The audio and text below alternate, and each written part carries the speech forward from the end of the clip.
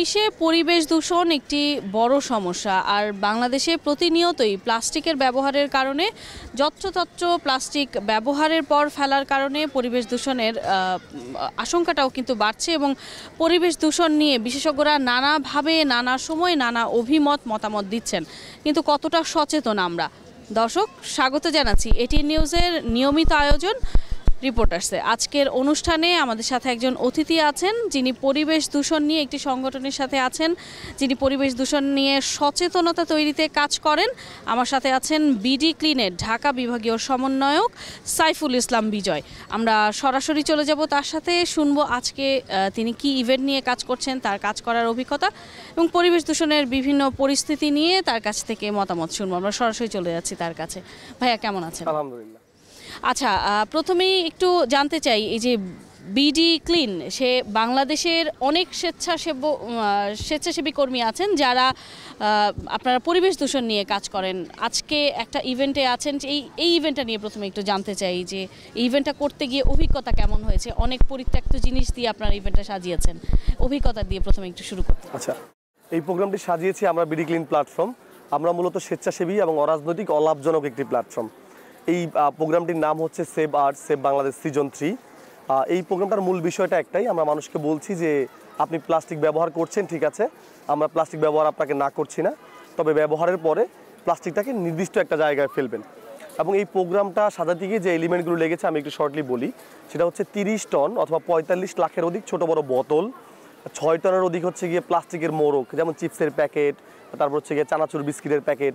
এছাড়া হচ্ছে গিয়ে প্রায় তিন কোটি বা পাঁচ হাজার কেজির উপরে সিগারেটের বার্স এবং এই সমস্ত এলিমেন্টগুলো আমাদের প্রায় চল্লিশ হাজার স্বেচ্ছাসেবী বিডিক্লিন স্বেচ্ছাসেবী প্রায় দেড় মাস পরিশ্রম করেছে। সারা বাংলাদেশ থেকে আমরা এগুলো কালেক্ট করেছি। সারা বাংলাদেশে প্রায় আমাদের হচ্ছে আটান্নটা জেলা টিম, দেড় শতাধিক উপজেলা টিম এবং সবগুলো সিটি কর্পোরেশনে আমাদের টিম রয়েছে। আমাদের স্বেচ্ছাসেবীরা যখন এগুলো কালেক্ট করে সারা দেশ থেকে, তখন আসলে আমরা অনেকগুলো প্রতিবন্ধকতার সম্মুখীন হয়েছি। কারণ মানুষ আসলে এই প্লাস্টিকের সঠিক ব্যবহারটা জানে না। আমরা যখন এগুলো রাস্তায় কুড়াতে গেলাম, মানুষকে বুঝালাম। মানুষ অনেক সময় আমাদেরকে টোকাই বলেছে, অনেক সময় ধান্দাবাজ বলেছে বলেছে কোনো কোম্পানি থেকে এসেছি। এমনও হয়েছে যে আমাদের সদস্যরা মানে ময়লা কুড়াচ্ছে, ওই টাইমটাতে তার হাতে থাকা কোকের বোতল বা হচ্ছে গিয়ে কোনো ড্রিঙ্কসের বোতল অথবা সিগারেটের বার্স পর্যন্ত সামনে ছুঁড়ে ফেলেছে। যে এটা তোমরা পরিষ্কার করো, তোমরা তো সিটি কর্পোরেশনের তোমরা তো পৌরসভার, তোমরা তো বেতন নিয়ে কাজ করো, এইভাবে কথা বলেছে। আমাদের অনেক মেয়ে যে সদস্য যারা কাজ করে, ওদেরকে আসলে অনেক হেয় করেছে। বাট কোনো প্রতিকূলতায় আসলে আমাদের থামাতে পারেনি। যেহেতু আমাদের আগে থেকে প্ল্যানিং ছিল, আমরা এমন একটা এক্সিবিশন করবই। আমরা সবাই মিলে দেড় মাস কালেক্ট করেছি এগুলো এবং তারপরে আমরা প্রায় বারো দিন অনেক চেষ্টা করে, আমরা অনেক কষ্ট করে এগুলো আমরা ঢাকায় নিয়ে আসি। ঢাকায় আনার সময় আরেকটা চ্যালেঞ্জ হয়েছে। সেটা হচ্ছে গিয়ে আমরা যখন এতগুলো ময়লা নিয়ে আসি ঢাকায় বাস, ট্রেন, লঞ্চ, ট্রাক যোগে নিয়ে আসি। তো ময়লা দেখে আসলে আমাদেরকে কেউ নিতে চায় নাই। অনেকগুলো জেলায় এরকম হচ্ছে চারটা, পাঁচটা বাস চেঞ্জ করেছে।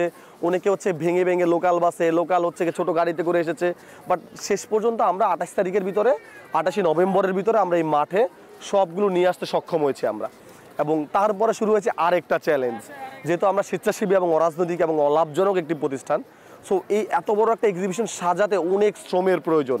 সো আমাদের সদস্যদেরকে আমরা তখন বলি যেহেতু আমরা লেবার রাখতে পারব না বা শ্রমিক রাখতে পারব না অত টাকা দিয়ে, আমরা স্বেচ্ছাসেবীদেরকে আবারও বলি, তখন প্রায় প্রতিদিন তিনশো থেকে পাঁচশো এবং এক মাসে প্রায় হচ্ছে বারো হাজার স্বেচ্ছাসেবী আমাদের বিডি ক্লিনের, যাদের হাতের ছোঁয়ায় এই পুরো এক্সিবিশনটা ফুটিয়ে উঠেছে। কিন্তু এই যে এত প্রতিবন্ধকতা, এত প্রতিবন্ধকতার পরেও কাজ করার চেষ্টা এইটা আসলে, এই ভাবনাটা আসলে কেন তৈরি হয়েছে? আমাদের মূল একটা জায়গা আমাদেরকে ধাক্কা দিয়েছে। যেই ধাক্কার কারণেই এতগুলো তরুণ আমরা একত্রিত হয়ে দেশ পরিবর্তনে বা দেশকে সমৃদ্ধ করার জন্য কাজ করে যাচ্ছি। আমরা জানি প্রায় একাত্তরে আমাদের একাত্তরে আমাদের বাংলাদেশ স্বাধীন হয়েছিল। একাত্তরের পরে এই বাংলাদেশে প্রায় লক্ষ লক্ষ স্বেচ্ছাসেবী জন্ম হয়েছে, লক্ষ লক্ষ সংগঠনের জন্ম হয়েছে। বাট এমন সিঙ্গেল একটি সমস্যা নাই, যেটা স্বাধীনতার পরে প্রকট আকারে ছিল। বাট দীর্ঘ পঞ্চাশ বছরের পরিক্রমায় এটা সমাধান হয়ে গিয়েছে। এমন একটি সমস্যাও নেই। কেন এটা হয়নি? কারণ আমরা স্বেচ্ছাসেবীরা কিছুদিন পরে স্বার্থে জড়িয়ে যাই কিংবা বিতর্কিত হয়ে যাই, অথবা আমরা একত্রিত না। ওইখান থেকে আমাদের মূল একটা জায়গা চিন্তা করা, যে আমরা সবাই আসলে যে কোনো সময় অনুপ্রেরণা নিতে চাইলে একাত্তরের অনুপ্রেরণা নেই, বান্নের অনুপ্রেরণা নেই। আমরা কেন আসলে পঞ্চাশ বছর এসে এই প্রজন্মের তারুণ্যকে সামনের পঞ্চাশ বছরের জন্য কোন অনুপ্রেরণা হিসেবে দাঁড় করতে পারছি না? তো আমরা হচ্ছে গিয়ে চাচ্ছি যে এতদিন যাবত যে স্বেচ্ছাসেবীরা কাজ করেছে, ওদিকে না তাকিয়ে বরং আমরা সবাই একত্রিত হয়ে একটা সমস্যা নিয়ে কাজ করব এবং এই সমস্যাটা সমাধান করে পরে অন্য জায়গায় যাব। এবং আগামী পঞ্চাশ বছর যাতে পঞ্চাশ বছর পরে গিয়ে যাতে করে তরুণরা শুধু যখন এক্সাম্পল টানবে, অনুপ্রেরণা খুঁজবে, শুধুমাত্র বান্ন বা একাত্তর না, সাথে আসলে এই সময়ের বিশ এবং বাইশ বা তেইশের তারুণের এক্সাম্পল টানে। সো যখন আমরা এগুলো চিন্তা করি, অনুপ্রেরণা আমাদের ভিতরে আসলে এমনিতেই চলে আসে। চল্লিশ হাজার স্বেচ্ছাসেবী। এই স্বেচ্ছাসেবী যারা আছেন, তারা নিশ্চয়ই শুরুর দিকে সংগঠন বা আপনাদের বিডি ক্লিনের সাথে জড়িত ছিল না। একদিনে নিশ্চয়ই সংখ্যাটা দাঁড়ায়নি। সো তাদের কাছ থেকে আসলে ফিডব্যাকটা কেমন পাচ্ছেন? কিংবা তারা শুরুতে তাদের সাথে জার্নির শুরুটা আসলে কেমন ছিল? এটা একটু বলি যে আমাদের একদম প্রথম দু হাজার ষোলো সালের তেসরা জুন একজন ব্যক্তি ফরিদউদ্দিন আহ, ওনার মাধ্যমে শুরু হয়। প্রথম রাতে চব্বিশ জন ছিল উনি সহ। তারপর থেকে কাজ শুরু হয়। আমরা প্রথম থেকেই কখনোই আজ পর্যন্ত প্রায় সাড়ে ছয় বছরের জার্নি আমরা কখনো সিঙ্গেল একটা রেজিস্ট্রেশন বুথ আমরা কোথাও বসাইনি। আমরা যেটা করি যে আমরা যতটুকু কাজ করি, ঠিক অতটুকু কাজই হচ্ছে কি আমরা ডকুমেন্ট আকারে অথবা ছবি আকারে বা ভিডিও আকারে আমরা সেটা হচ্ছে ফেসবুকে বা ইনস্টাতে ছেড়ে দিচ্ছি আমরা। এবং সেটা দেখে যদি কোনো মানুষ এটা ফিল করে যে হ্যাঁ আমিও দেশের নাগরিক, ওই ছেলে বা ওই মেয়েটাও এই দেশের নাগরিক, তারা যদি করতে পারে, আমাকেও এগিয়ে আসা উচিত এবং সে এগিয়ে আসে। ঠিক এরকম করেই নিজ তাগিদে হচ্ছে গিয়ে আজকে আমাদের একজন থেকে হচ্ছে গিয়ে প্রায় চল্লিশ হাজার সদস্য এসে বসেছে। এবং যখন একটা টিম ছিল ষোলো সালে ঢাকা টিম সেখান থেকে আজকে আমাদের আটান্নটা জেলা দেড় শতাধিক উপজেলা বারোটা সিটি কর্পোরেশন এবং প্রায় সবগুলো পৌরসভা আমাদের টিম রয়েছে। ঢাকা উত্তর এবং দক্ষিণ সিটি কর্পোরেশনে প্রায় হচ্ছে তিনটা করে ওয়ার্ড মিলে একটা করে টিম তার মানে প্রায় বাইশ থেকে আঠাশটা টিম রয়েছে। সাধারণ মানুষের কাছ থেকে কতটা সাড়া পেয়েছেন? তারা আপনাদের এই কাজ দেখে কতটা উদ্বুদ্ধ হয়েছে সচেতন হয়েছে? আসলে সারাটা অনেক বেশি পেয়েছি। যখন ষোলো সালে আমরা ফার্স্ট কাজ করতাম তখন তখন দেখা যেত কি, অনেক মানুষ আমাদের কিন্তু অনেক বেশি টিটকারি করতো, অনেক বেশি মস্কারি করতো, অনেক বেশি হেউ করতো আমাদের। আমরা একটু আগে যে কথাটা বলেছিলাম যে আমরা কাজ করছি, তখন ওই টাইমে সিগারেটের বার্ডস, ঝালমুড়ির খোসা, আমাদের সামনে ছুঁড়ে মারছে। ওই সংখ্যাটা এখন অনেকাংশেই কমেছে। আমি যদি এক্সিবিশন নিয়ে একটা এক্সাম্পল দিই, আমরা ধরেন উনিশ সালে ফার্স্ট একটা এক্সিবিশন করি save art save Bangladesh season one ওইটা করেছিলাম এই কারণেই যে আমরা যখন আসলে এই ময়লা বা পরিচ্ছন্নতা নিয়ে কাজ করা শুরু করলাম, আমরা দেখলাম যে মানে পরিবেশে যে পরিমাণ ডাস্ট আছে বা ময়লা আছে তার অধিকাংশ আসলে প্লাস্টিক। তখন আমরা বুঝলাম যে যদি প্লাস্টিক ব্যবহারে মানুষের সচেতনতা বাড়ানো যায়, তাহলে হয়তো প্রকৃতিতে এই বর্জ্যের পরিমাণ অনেকাংশে কমে যাবে। তখন হচ্ছে কি আমরা দু হাজার ষোলো সালের ডিসেম্বর মাসে তিরিশ লক্ষ প্লাস্টিকের বোতল দিয়ে একটা এক্সিবিশন করি। Save art save Bangladesh season one এবং ওই সময় যে দর্শনার্থীরা ছিল, তখন আমাদের দেখা যায় দশ মিনিট পর পর এই পুরো গ্রাউন্ডটাকে পরিচ্ছন্ন করতে হইতো। কারণ কেউ সচেতন ছিল না, প্রচুর ময়লা ফেলতো। এবং তার ধারাবাহিকতা যখন আমরা একুশ সালের ডিসেম্বরে save art Bangladesh season two করলাম, শুধুমাত্র সিগারেট ফিল্টার নিয়ে। এবং আট কোটি সিগারেট ফিল্টার নিয়ে আমরা এক্সিবিশন করেছিলাম। তখন দেখা গেল এই ময়লার পরিমাণটা কিছুটা আরও কমেছে। এবং ফাইনালি যখন এই এক্সিবিশন আসলাম, দুই হাজার বাইশ সালের বিজয় দিবস উপলক্ষে শুরু করলাম, আপনি চারপাশে তাকালে দেখতে পাবেন যে ময়লা একদমই নেই। এমন না যে আমাদের স্বেচ্ছাসেবীরা একটু বরাবর হাঁটছে এবং কোরাচ্ছে একদমই না। আমরা দিন শেষে একবার দেখতেছি যে কী পরিমাণ ময়লা আছে। আসলে পরিমাণটা একদমই কম। হয়তো সব কিছু মিলিয়ে যা পড়েছে এতটুকু একটা ঝুড়িও পড়বে না।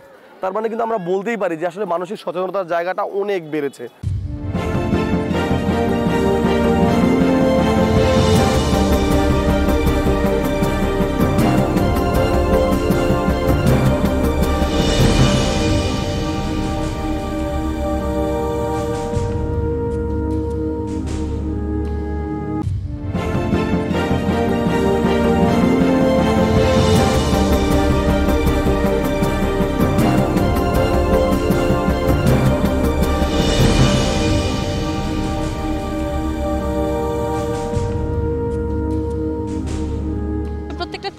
পেছনে কিছু উদ্দেশ্য আছে। কোন থিমটা আসলে কোন উদ্দেশ্য নিয়ে করেছেন? এই, এইগুলো দেওয়ার আসলে কারণ কি? মানে এত কিছু থাকতে এই থিমগুলো বেছে নেওয়ার কারণ কি? এই পুরো এক্সিবিশন একটি থিমের উপর দাঁড়িয়ে আছে। প্রথমে এই গেট থেকে ঢুকতেই আমরা ডানে যেটা দেখতে পারব একটি মাছ। আমরা জানি যে হচ্ছে গিয়ে বাঙালির একটা ঐতিহ্যবাহী প্রবাদ আছে, মাছে বাতে বাঙালি। এবং আমরা যে পরিমাণ প্লাস্টিক দূষণ করছি সেই পরিমাণ প্লাস্টিক দূষণের কারণে আসলে মাছের প্রজননটা অনেকাংশে কমে যাচ্ছে। কারণ এই ময়লাগুলো আসলে আপনার যেমন সিগারেটের ফিল্টার যদি আমি বলি সিগারেটের ফিল্টার হচ্ছে টার আর্সেনিক নিকোটিনের মতো প্রায় সাত হাজার ভয়াবহ কেমিক্যাল আছে, যেগুলো আসলে বন্যার পানি বা বৃষ্টির পানিতে সমুদ্র বা নদীতে বা পুকুরে গিয়ে পড়তেছে এবং মাছ সেটাকে খাবার হিসেবে খেয়ে নিচ্ছে। তখন মাছ পুরো বিষাক্ত হয়ে যাচ্ছে। যখন সেটা আমরা খাচ্ছি, তখন আমরা ক্ষতিগ্রস্ত হচ্ছি। অপরদিকে, মাছের প্রজনন ধীরে ধীরে কমে যাচ্ছে। এই যে মাছে বাতে বাঙালি, একটা প্রবাদ সেটা তার ঐতিহ্য হারাচ্ছে। মূলত এই যে ভয়াবহ একটা পরিস্থিতি মাছের প্রজনন নিয়ে, সেই জিনিসটাকে তুলে ধরতে আমরা একটা স্থাপত্য নির্দেশনা দিয়েছি, সেটা হচ্ছে একটা মাছ। আমার পিছনে যেটা আছে একটি কচ্ছপ। কচ্ছপের ব্যাপারটা আমরা এই কারণে দিয়েছি, কারণ আমরা জানি যে প্রতি বছর প্রায় দুই লক্ষ টনের অধিক প্লাস্টিক বর্জ্য হচ্ছে সমুদ্রে গিয়ে যাচ্ছে। ফলে প্রতি বছর প্রায় একশো মিলিয়ন সামুদ্রিক প্রাণী মারা যাচ্ছে। তার মধ্যে হচ্ছে কচ্ছপ অন্যতম। অথচ এই সামুদ্রিক প্রাণীগুলো কিন্তু পরিবেশ এবং জলবায়ুর ভারসাম্য রক্ষার জন্য অত্যন্ত গুরুত্বপূর্ণ। তো এই যে সমুদ্রের প্রাণীদের এত ভয়াবহ পরিস্থিতি, মূলত এই ভয়াবহ পরিস্থিতিটাকে তুলে ধরার জন্য আমরা একটা কচ্ছপের হচ্ছে গিয়ে প্রতিকৃতি এখানে করেছি। তারপর যদি আমরা দেখি যে একটি সিগারেট ফিল্টার আমরা করেছি এই জায়গাটাতে, আমরা জানি যে সিগারেট ফিল্টার হচ্ছে গিয়ে সাইলেন্ট কিলার আমরা অনেক দূষণ নিয়ে বলে থাকি, পলিথিন নিয়ে, বোতল নিয়ে, প্লাস্টিক নিয়ে বাট আমরা কেউই আজ পর্যন্ত পৃথিবীতে এরকম কোথাও কোনো এক্সিবিশন হয় নাই, যেখানে কেউ আসলে সিগারেটের ফিল্টার নিয়ে বলেছে বলেছে। অথচ প্রকৃতিতে পাওয়া সবচেয়ে বেশি, সবচেয়ে ভয়াবহ, সবচেয়ে দূষিত পদার্থ হচ্ছে সিগারেট ফিল্টার এবং যেটা হচ্ছে আমাদের আড়ালে থেকে আমাদের ভয়াবহ রকমের ক্ষতি করছে। সো প্রতি বছর প্রায় হচ্ছে পাঁচ দশমিক চার ট্রিলিয়ন সিগারেট উৎপাদন হচ্ছে। এবং তার মধ্যে চার দশমিক পাঁচ ট্রিলিয়ন সিগারেটের ফিল্টার থেকে যাচ্ছে প্রকৃতিতে। বাকি খুব সামান্য আমরা রিসাইক্লিং করছি। সো ওই ভয়াবহ পরিস্থিতি তুলে ধরতে আমরা মূলত এই সিগারেটের অর্ধ নিমজ্জিত ফিল্টারটা স্থাপন করেছি এখানে। ব্যাখ্যাগুলো এতক্ষণ দিলেন। এর বাইরে যদি আমি সবুজায়নের কথা বলি, সেইটার জন্য কি আসলে আপনাদের সংগঠন থেকে বা আপনারা যারা আসলে দায়িত্ব পালন করছেন, সেই জায়গা থেকে কোনো পদক্ষেপ আসলে আপনারা নেবেন কিনা? আর লাস্ট যে ব্যাপারটা, আমাদের এই মাঠের মধ্যে দুই পাশে, এক পাশে হচ্ছে আমাদের জাতির পিতা বঙ্গবন্ধু শেখ মুজিবুর রহমানের বোতল দিয়ে একটা প্রতিকৃতি রয়েছে। মাঠের আরেক পাশে হচ্ছে আমাদের মাননীয় প্রধানমন্ত্রী বঙ্গবন্ধু কন্যা জননেত্রী শেখ হাসিনার একটি ছবি রয়েছে, সেটাও বোতল দিয়ে তৈরি।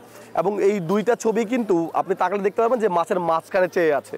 মানে হচ্ছে এই দুইটা মানুষ যে স্বপ্নের সোনার বাংলা গড়ার তাগিদ নিয়ে এগুচ্ছে, আমরা সেটাকে একদম বিপরীত মুখে আমরা এগুচ্ছি। মূলত সেই স্বপ্নকে বাস্তবায়ন করার জন্যই আমরা কাজ করে যাচ্ছি এবং একটা পরিচ্ছন্ন বাংলাদেশ গড়তে যাচ্ছি বা সমৃদ্ধ সোনার বাংলা করতে যাচ্ছি। এবং এই যে প্রকৃতি থেকে হচ্ছে গিয়ে যদি আমরা এই ময়লাগুলো কালেক্ট করে আনি, অচিরেই দেখবেন যে হচ্ছে যে গাছের প্রজনন কমে যাচ্ছে, প্রকৃতি সবুজ থেকে ধীরে ধীরে দূষণ হয়ে যাচ্ছে এই জায়গাটা কমে আসবে। গাছ অটোমেটিক্যালি বেড়ে আসবে। পাশাপাশি আমরা আরেকটা কনসেপ্টে আগে আপনাকে একটু বলে রাখি। সেটা হচ্ছে আমরা জন্মদিন বা প্রতিষ্ঠা বার্ষিকীতে কিন্তু নর্মালি কেক কেটে উদযাপন করি। বাট আমাদের বিডিক্লিন সদস্যরা আমরা অন্য একটা কনসেপ্টে আগাই। আমরা একটা কথা বিশ্বাস করি যে জন্মদিন বা হচ্ছে প্রতিষ্ঠা বার্ষিকী কেক কেটে নয়, বরং এমন কিছু করে দেখাও যেটা জাতির জন্য কল্যাণ করা হয় এদের চল্লিশ হাজার সদস্যের কথা বললাম, এখানে কেউই আমরা কেকের জন্মদিন উদযাপন করি না। আমরা যেটা করি সেটা হচ্ছে জন্মদিন বা প্রতিষ্ঠা বার্ষিকী এলে আমরা ওই সংখ্যা অনুবাদ করে বৃক্ষরোপণ করি। আমরা ওই সংখ্যা অনুবাদ করে অতগুলো বাগান করে দিই। সো আমরা এটা বলতেই পারি যে শুধুমাত্র প্রকৃতি থেকে দূষর ময়লাগুলো তুলে আনা না, পাশাপাশি আমরা আসলে সবুজায়নের দিকে অনেক বেশি জোর দিচ্ছি। আচ্ছা এতক্ষণ আপনার আপনাদের বিডি ক্লিনের বিভিন্ন ইভেন্টের কথা আমরা শুনলাম, কিন্তু এই যে পরিবেশ রক্ষার জন্য, পরিবেশ দূষণ প্রতিরোধের জন্য আসলে সচেতনতার কথাই আপনি, আমি, বিশেষজ্ঞ যারা আছেন, যারা কাজ করছেন, সবাই একযোগে বলে যাচ্ছেন, সেই সচেতনতা বৃদ্ধির জন্য আসলে কি করা উচিত এবং সেই পরিবেশ দূষণ উত্তরণের জন্য আসলে একজন নাগরিক হিসেবে যদি বলি, সেই জায়গা থেকে একজন নাগরিকের দায়িত্ব কি কি থাকে বলে মনে করেন? প্রথমেই বলি যে আমরা এই যে একটা এক্সিবিশন করলাম এক্সিবিশনের প্রতিপাদ্য বিষয়টা আমি আরেকবার সবাইকে স্মরণ করে দিতে চাই যে আমরা কাউকে প্লাস্টিক ব্যবহারে না করছি না, শুধু বলছি আপনি ব্যবহারের পর একটি নির্দিষ্ট জায়গায় ফেলুন। এবং এ থেকে উত্তরণের পথগুলো একদম সহজ, কঠিন কিছু না। শুধুমাত্র আমাদেরকে একটু অলসতা ছাড়তে হবে আমি যে পানিটা খাচ্ছি বা যে চিপসটা খাচ্ছি, এটাকে জাস্ট জায়গায় ফেলে না দিয়ে একটু চারপাশে তাকাতে হবে যে ডাস্টবিন কোথায় আছে। যদি ডাস্টবিন না থাকে, তাহলে আমরা বিডিগ্রিন সদস্যদের অনুসরণ করতে পারি। আমাদের বিডিগ্রিন সদস্যরা যেটা করি আমরা, আমাদের যে ফিমেল সদস্যরা আছে, আমরা হচ্ছে তাদের সাইড ব্যাগে আমাদের সারাদিনে ময়লাগুলো রেখে দিই। যে ছেলেরা আছে আমরা আমরা আমাদের প্যান্টের পিছনে পরে ময়লাগুলো রেখে দিই। সো অত বেশি ক্ষতি কিন্তু আমাদের হচ্ছে না, আমরা এটা করতে পারি। পাশাপাশি এই ব্যাপারে সচেতনতা বাড়ানোর জন্য আমরা যেটা আবেদন করেছিলাম ইতি- ইতিমধ্যেই, সেটা হচ্ছে প্রতিটা স্কুলে, কলেজে অন্তত তিন মিনিট প্রতিদিন পরিচ্ছন্নতা সম্পর্কে একটা বার্তা দেওয়া শিক্ষার্থীদেরকে। যে পরিচ্ছন্নতা যে আসলে কোনো পরিচ্ছন্ন কর্মচারীর কাজ না, পরিচ্ছন্ন কর্মীর কাজ এটা যে আমার দায়িত্ব, এই জায়গাটা ইম্পর্টেন্ট এবং আমরা আসলে পরিচ্ছন্নতা নিয়ে এতটা উদাসীন হওয়ার অন্যতম একটা কারণ আছে। কারণ আমরা কেউই আসলে বাসার সকালবেলা ঘুম থেকে উঠে নিজের বিছানা নিজে পরিচ্ছন্ন করি না। আমি উঠে আমার বাসার কাজের মেয়ের জন্য, আমি আমার বাসার হচ্ছে আমার মায়ের জন্য, বোনের জন্য রেখে দিচ্ছি। সো যখন একটা ছোট্ট একটা বাচ্চা তার স্কুলে, সকালবেলা গিয়ে হচ্ছে স্কুলটাকে পরিচ্ছন্ন করবে, তারপর সে ক্লাসে বসবে, তখন সে বাসায় আসলে বিছানা চাদরটা নিজে গোছাবে। তখন তাকে আসলে আর বলা লাগবে না যে আপনি পরিচ্ছন্নতা নিয়ে কাজ করেন। এবং যদি এটা কন্টিনিউ হয়, আমরা বিশ্বাস করি যে হচ্ছে এই দেশটা অচিরেই একটা পরিচ্ছন্ন এবং সমৃদ্ধ সোনার বাংলা গড়ে উঠবে। পাশাপাশি আমাদের যেই কোম্পানিগুলো আছে, যারা আসলে বাংলাদেশে প্লাস্টিক নিয়ে ব্যবসা করে, তাদেরকে অনুরোধ করছি এবং ইতিমধ্যে অনুরোধ করেছিও আমরা যে আপনারা যেহেতু ব্যবসা করছেন আমাদের দেশে এসে আপনি মুনাফা কামাচ্ছেন, বরং আপনার দায়িত্ব এটাও হওয়া উচিত যে এই দেশকে ভালোবেসে, এই দেশের প্রতি দায়বদ্ধতা রেখে আপনি এটাকে পরিচ্ছন্ন করার কাজও কাজ করেন। আপনি এটাকে রিসাইক্লিংয়ের জন্য কাজ করেন। শুধুমাত্র অন্য কেউ ব্যবসায়িক উদ্দেশ্যে রিসাইক্লিং করবে, আপনি বসে থাকবেন? না, এমনটা হতে পারে না। আপনি যে ব্যবসা করছেন, নিশ্চয়ই আপনার দায়বদ্ধতা এতটুকুও আছে যে আমি ব্যবসা করব, পাশাপাশি আমি যে ডাস্টগুলো তৈরি করছি, আমি আমার নিজদের থেকে রিসাইক্লিংয়ের ব্যবস্থা করব।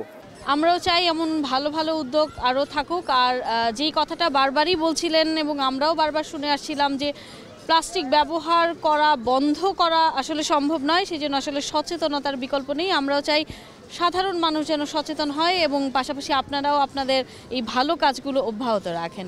ধন্যবাদ সময় দেওয়ার জন্য। দর্শক, আজকের রিপোর্টার শেষ করছি এখানেই। দেখা হবে আগামী পর্বে অন্য নতুন কোনো অতিথি নিয়ে। যুক্ত হব আপনাদের সঙ্গে। সে পর্যন্ত সবাই ভালো থাকুন সুস্থ থাকুন। চোখ রাখুন এটি নিউজের পর্দায়।